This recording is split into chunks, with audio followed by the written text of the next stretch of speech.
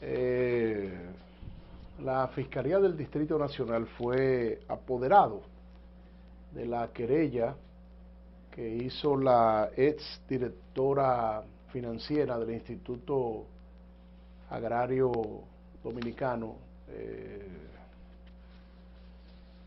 en contra del director, el ingeniero agrónomo Leonardo Faña, quien lo acusan de agresión sexual. Eh, a ese tampoco lo han llamado. Claro, deben estar recogiendo información y esas cosas para ver, pero eh, bueno, vamos a ver, eh, el país está muy pendiente del caso de la acusación, la grave acusación que se le ha hecho a Leonardo Faña.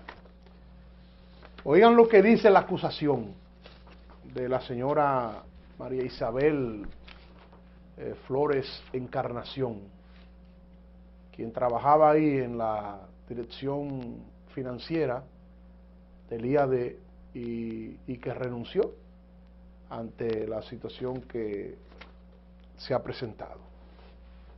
Oigan esto. Como hablamos ayer, supuestamente Faña estaba presionando a esa dama para que se vieran fuera de la institución. Y ella decía que no. Eh, hasta que él insistió y a principios de enero, o sea, de este mes de enero, ellos se juntaron en, el parqueo de Jumbo, de la avenida Luperón con Gustavo Mejía Ricard, que supuestamente iban para el IAD, pero que él, en vez de coger para el IAD, le dio derecho para una cabaña. Y luego pasaron unas cosas que si son verdad, eh, dan grima. Fíjense la acusación que hace la dama. Y que ella relató al Ministerio Público. La dama accede a que el señor Faña la recoja en el parqueo de Jumbo de la avenida Luperón con Gustavo Mejía Ricard y van supuestamente a la oficina del IAD. Pero cuando están pasando por el IAD, Faña aceleró y llegaron a Cabaña VIP en la Luperón con Independencia. En la cabaña VIP la dama establece resistencia. Le dice que si intenta entrar a la cabaña, me tiro del vehículo. Lo que hace el señor es que hace el recorrido por la cabaña, pero no penetra. La dama accedió a ir con el señor Faña a hacer la reunión al típico Bonao, en la autopista Duarte. El señor Faña entró, buscó la comida. Ella dice que probó algo de lo que él trajo, también de una bebida que él le suministró y quedó en estado de inconsciencia. Oigan eso, que cuando ella se despertó, descubrió al señor Faña atravesándole la lengua por todas partes, tocándola por todas partes, y ya ella dice que cayó en un estado de shock que vino a recuperarse estando en la avenida Luperón ya de regreso. Cuando llegaron al parqueo, ella abrió el vehículo despavorida y salió.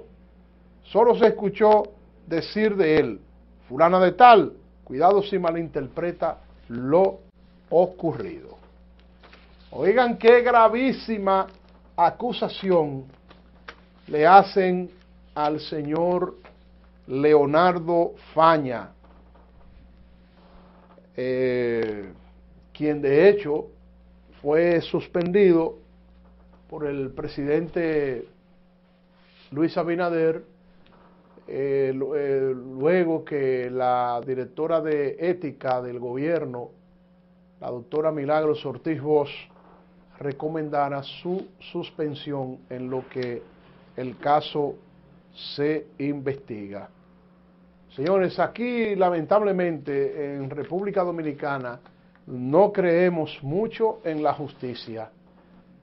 O, prácticamente no creemos nada. Hay gente que dice, bueno, yo no creo en justicia, y más cuando se trata de un funcionario público de, cierto nivel político, o cuando se trata de investigar o enjuiciar a una persona con poder económico o con influencias. Aquí mucha gente piensa y cree con sobradas razones de que la justicia solo se le aplica al más débil, al más pobre. Eh, y ojalá que eso cambie. Yo no pido que con este tema de Leonardo Faña se haga un circo, un show mediático, un espectáculo, pero sí que se llegue a las últimas consecuencias mediante una investigación profesional y seria. El señor Faña remitió una carta al presidente de la República diciendo que esto es parte de una persecución política, más o menos habló en esos términos. Y como que ya los funcionarios públicos cansan los funcionarios públicos hartan cuando hablan, cuando son investigados, cuando son señalados por un acto pecaminoso, reñido contra la ley, de una vez salen con el cliché, eh, el argumento requete utilizado, requete quemado, de que se trata de una persecución política. Yo me hago ahora otra pregunta. ¿A quién carajo, a quién diablos le importa el futuro político de, Leonardo Faña? ¿Quién es Leonardo Faña? Es un dirigente del PRM, el coordinador del área agropecuaria de ese partido, no más de ahí. Pero ¿quién es Leonardo Faña para decir, ay, me están persiguiendo políticamente? Nunca, que yo sepa, ese señor nunca ha aspirado a un cargo electivo. O sea, ¿cuál es el, el CAN?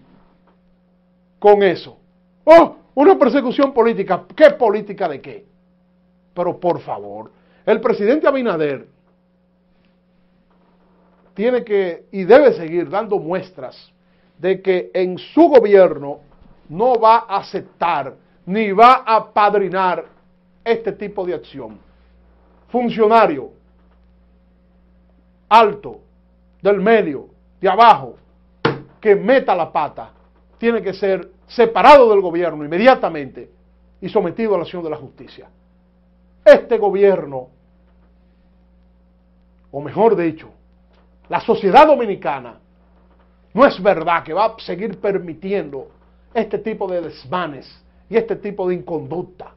Aquí tiene que haber un régimen de consecuencia. Oh, pero si eso es cierto, si eso sería cierto, qué vergüenza qué, qué chopo, qué chusma, si sería cierto, ¿no? Óyeme, pero vuelvo y me pregunto como hice hace unos programas atrás. Óiganme, ¿y qué necesidad tiene esta mujer? Uno no la conoce, claro, a ellas la van a investigar, pero ¿qué necesidad tiene una mujer de decir, ¡ay! Eh, fulano me agredió sexualmente, inventándose. Porque si ella no, si es una, vamos a decir, una acusación maliciosa, ella podría enfrentar demandas y una serie de acciones también en contra de ella. Pero si eso es verdad, él enfrentaría, según el código, según la ley de este país, de 5 a 10 años de, prisión y multas y una serie de situaciones. Queremos un país donde la ley se aplique, pero que se le aplique al rico, al pobre, al blanco, al negro, al gordo, al flaco, al viejo, al joven, al, al, hombre, al pájaro, a la mujer, a la lesbiana, al pastor, al sacerdote, al ingeniero, al doctor, al periodista, al conchero, al motoconchista, al taxista. que se le aplica a todo el mundo. Porque ¿por qué la ley tiene que tener preferencia en este país? Digo yo, como que ya estamos, estamos, o estoy yo, ojalá que ustedes también, yo estoy intolerante ante los casos de corrupción y de, sobre todo, de no aplicación de una verdadera justicia, de no tener un régimen de consecuencia en este país. Yo estoy cansado, cansado no, harto, harto tampoco, harto, estoy harto de eso. Oh, pero ven acá, como que ya está bueno, ¿verdad? ¿O estoy yo hablando una cosa que no es? La gente quiere justicia. La gente desea que se haga justicia en, en República Dominicana.